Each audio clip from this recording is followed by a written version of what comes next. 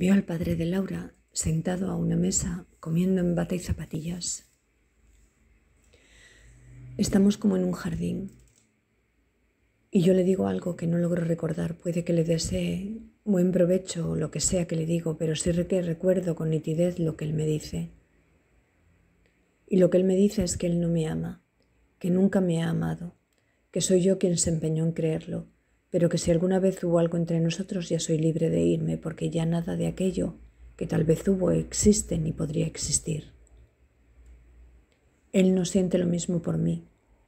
Dice que le parezco una persona muy valiosa y que me aprecia de otras maneras, pero no como mujer. Y que le crea, que no me engañe más, que solo estoy engañándome, que me lo asegura.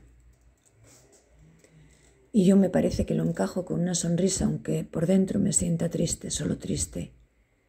Ya me he muerto de demasiadas maneras en esta extraña relación como para sentirme hundida y lo que hago es asentir con la cabeza. Y el siguiente recuerdo del sueño es que me estoy duchando, pero al aire libre. Lo sé porque el suelo es de hierba y huele a campo y hay una brisa y canto, hago ruido o me río no distingo entre los azulejos de color blanco. Quizás me haya convertido en pájaro y trino y tengo la espalda pegada a la pared y mis brazos me aprietan, pero quiero fingir que el golpe no me ha dolido ni siento frío.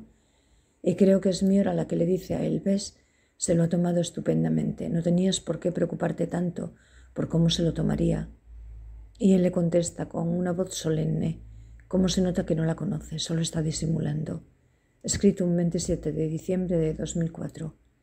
Son ahora las 9 horas 25 minutos del 17 de enero de 2022.